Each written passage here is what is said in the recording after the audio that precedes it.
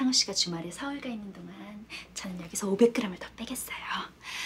이제 제 이름도 외웠으니 우리 사이는 조금 더 가까워진 거겠죠? 응?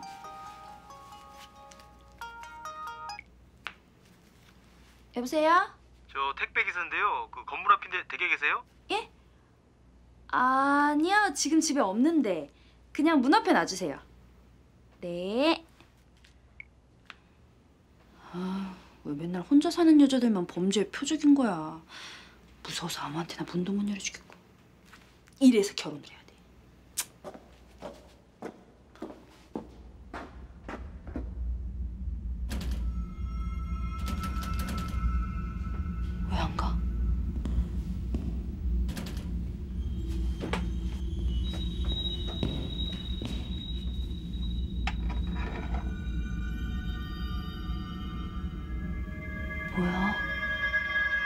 배영아! 야, 무려 형 왔어! 아, 저 오줌 싸게 또 왔네. 집 문 앞에 뒀습니다.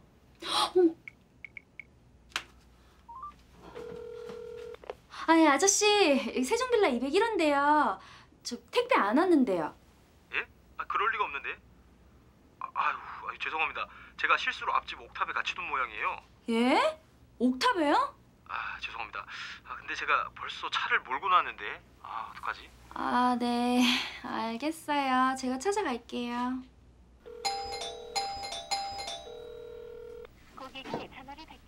아, 이 자식 이제 전화도 안 받네, 이거. 어? 아, 여보세요. 저는 그, 그 여기니까 옆집 202호 구대영하고 친한데 그냥 가시는구나. 민망하게.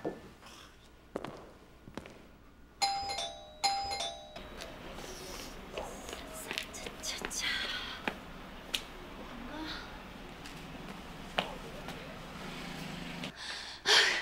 아, 택배 아저씨 나를 버린가? 아니야. 이렇게 옥탑을 올라가면서 생각지도 못한 운동을 하게 됐으니 오히려 더 잘 된 일인지도 몰라. 오, 백수지. 너 연애 사업 잘 풀리니까 되게 긍정적이다. 아이고 참. 아, 뒤꿈치 들고 올라가야 칼로리 더 소비되는데. 아, 이거 까먹었어. 아, 진짜 못 산다 내가.